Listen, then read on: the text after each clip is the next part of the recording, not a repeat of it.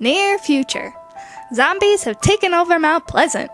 Our heroes, Sarah, Derek, and Ethan, are the only ones left who haven't had their brains eaten by zombies. Having just escaped a group of zombies, they stop to formulate a plan. What will happen next?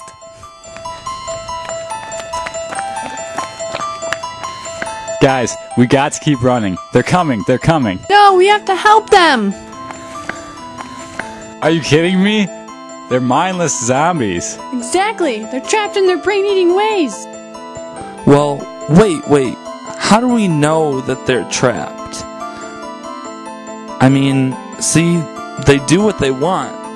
It's not really that bad, is it? I guess we're alright. Ah.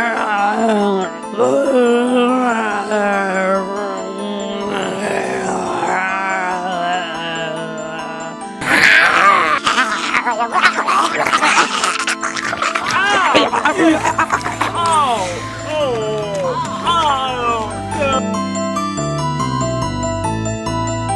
Oh no! Derek, man, you alright? You okay, Derek?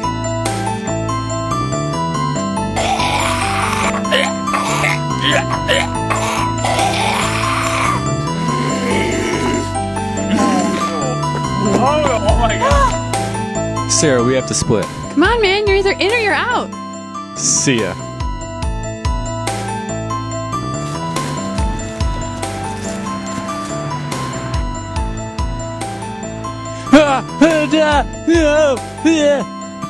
What am I gonna do? What am I gonna do?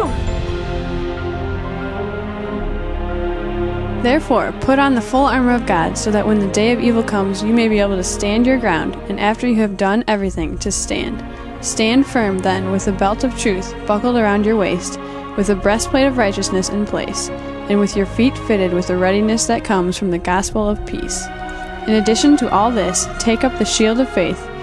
Take the helmet of salvation and the sword of the Spirit, which is the Word of God, and pray in the Spirit on all occasions, with all kinds of prayers and requests.